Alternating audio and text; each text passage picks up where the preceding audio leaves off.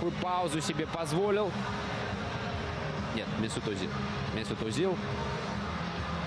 Да, это такая вот прием на одну, удар с другой.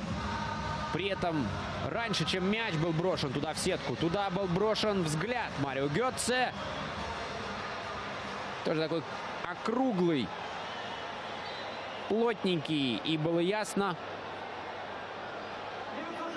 что здесь выручить Джонни Эрель.